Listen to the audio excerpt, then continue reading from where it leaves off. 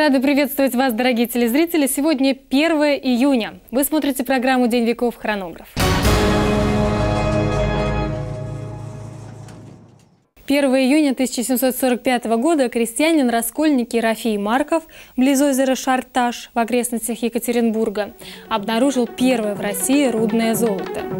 Позже это место стало называться Березовским месторождением. Вот как это произошло. Недалеко от Шарташа, в долине реки Березовки, ранним майским утром Ерофей заложил глубокий шурф и взял хорошую добычу самоцветов. Солнце стояло в самом зените и уже сильно, так сказать, припекало. Ерофей решил пообедать.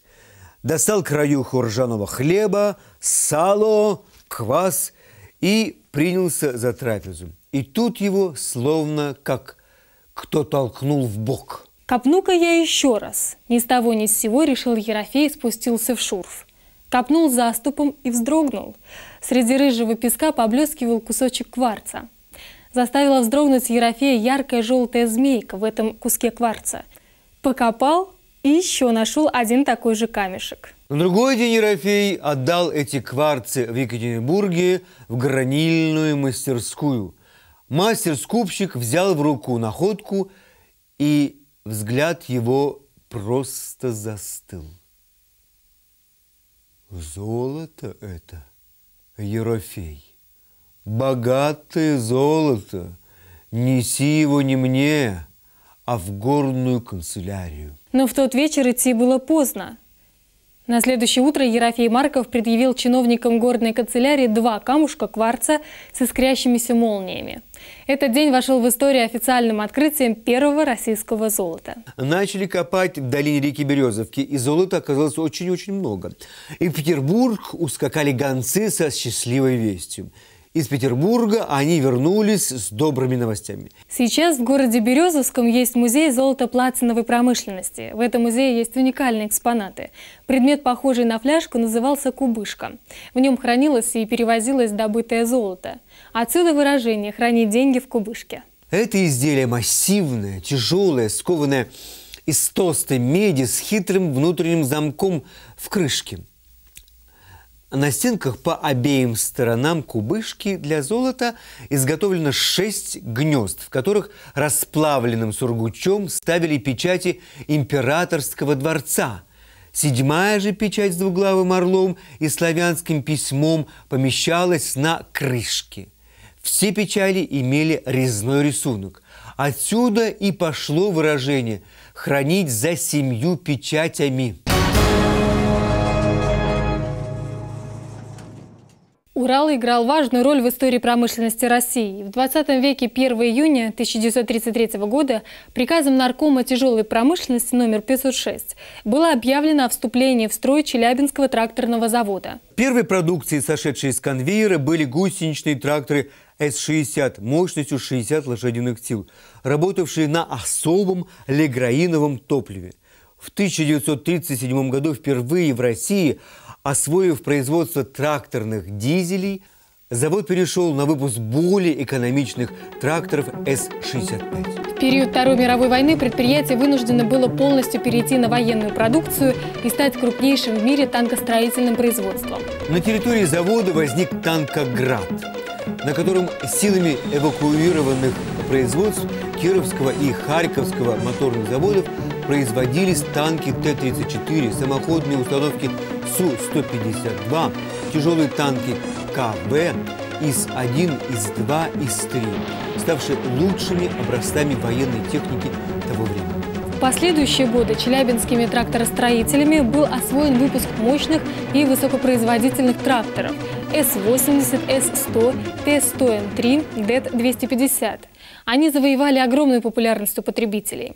На рубеже 1980-х годов завод был полностью реконструирован. В итоге были созданы условия для производства тракторов нового поколения Т-130, Т-170 и ДЭТ-350 и инженерных машин на их базе. Теперь, кроме выпуска тракторов, стали изготовлять и другие инженерные машины для строительства и коммунального хозяйства, добычи полезных ископаемых и топливно-энергетического комплекса лесной промышленности и других отраслей промышленности.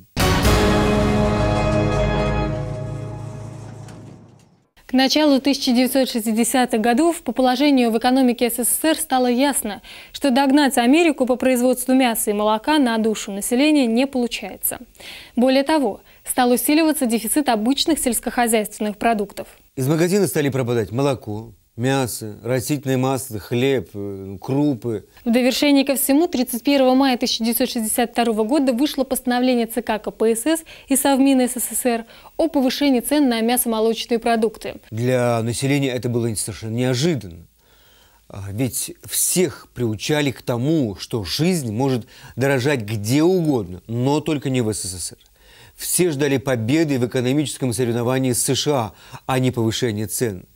Неудивительно, что повышение цен немедленно вызвало в стране острую реакцию. 1 июня 1962 года руководство КГБ СССР докладывало членам Президиума ЦК КПСС об отношении населения на повышение цен. В этой информации отмечалось, что решение о повышении цен в стране а, встретила поддержку среди сельского населения страны. Однако среди жителей городов эта мера вызвала протест. Но острее всего недовольство жителей проявилось в городе Новочеркасске. Накануне повышения цен дирекция Новочеркасского электровозостроительного завода имени Буденова объявила о снижении расценок на производимую рабочими продукцию. Это переполнило чашу народного терпения. Ранним утром 1 июня, перед началом рабочего дня в 7.30, небольшая группа рабочих формовщиков сталелитейного цеха Новочеркасского электровозостроительного завода численностью 8-10 человек стала обсуждать повышение цен. На беду рядом оказался заведующий промышленным отделом ростовского обкома КПСС Бузаев, который стал разъяснять рабочим обращение ЦК КПСС и Совета министров СССР – Стихийно начался митинг. Подходили рабочие с других участков. Часть людей прекратили работу, они собрались в заводском сквере. К этой группе рабочих направился директор завода Курочкин. Выступление Курочкина следом за разъяснениями политики партии и правительства заведующим отделом обкома партии стало вторым и едва ли не решающим звеном в обострении конфликта.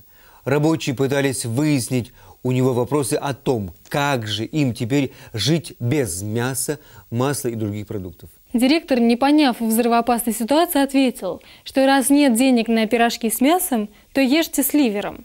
Эти слова и стали той искрой, которая привела к трагедии. Бросили работу рабочие других цехов и стали собираться в сквере у завода. Рабочие стали обвинять директора в плохих условиях труда, в постоянных нарушениях техники безопасности, в низких заработках. Толпа у завода управления быстро росла. Начальство укрылось внутри завода управления, не выходило к рабочим и никаких решительных действий, направленных к установлению порядка, не принимало. Вечером 1 июня была предпринята попытка подавить волнение силой – но рабочие разогнали милицию. Бастующие направили свои отряды к районной газораспределительной станции с целью ее отключения и остановки работы промышленных предприятий. Но внутренние войска взяли ее под охрану и арестовали около 30 зачинщиков беспорядков. Все жизненно важные городские объекты тоже были взяты под охрану войсками. К вечеру 1 июня в Новочеркасск прибыли несколько танков и бронетранспортеров. В результате всего этого произошедшего новочеркасские события стали символом провала сельскохозяйственной политики КПСС. Вы смотрите программу «День веков. Хронограф». А сейчас мы вам расскажем о событиях и людях, которые оставили яркий свет в истории культуры.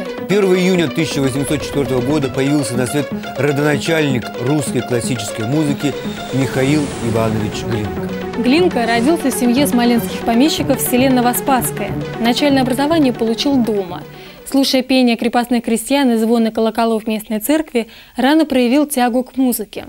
Увлекался игрой оркестра крепостных музыкантов в имении дяди Афанасия Андреевича Глинки. Музыкальные занятия, игра на скрипке и фортепиано начались довольно поздно и носили любительский характер. Однако музыка оказывала на него столь сильное влияние, что однажды на замечание о рассеянности он заметил, что же делать? Музыка – же душа моя. 1818-м Глинка поступил в Петербург в благородный пансион при Главном педагогическом институте, где учился вместе с младшим братом Пушкина Львом.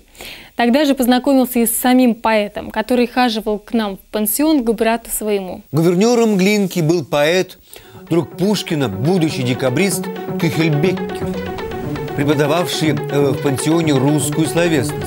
Параллельно с учебой Глинка брал уроки игры на фортепиано. После окончания пансиона Глинка отправился в Новоспасское, где иногда сам управлял оркестром дяди, играя на скрипке. Тогда же он начал сочинять оркестровую музыку. Но основное место в его творчестве занимали романсы. Среди сочинений той поры э, это «Бедный певец» на стихи Жуковского, э, 1826 год, э, «Не пой, красавица, при мне» на стихи Пушкина, один из лучших романсов раннего периода – это «Элегия» на стихи Боротынского «Не искушай меня без нужды». Весной 1830-го Глинка отправился в длительное заграничное путешествие по Европе, после которого у него зародилась мысль о создании национальной русской оперы. Идею оперы «Жизнь за царя», более известной в советское время как Иван Сусанин, Глинке предложил Жуковский.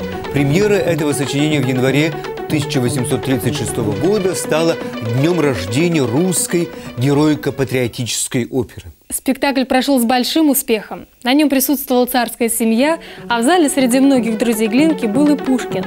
Вскоре после премьеры Глинка был назначен руководителем придворной певческой капеллы. Еще в 1837 году Глинка вел беседы с Пушкиным о создании оперы на сюжет Руслана и Людмилы. Затем началась работа над сочинением, премьера которого состоялась в конце 1842 года в Петербурге.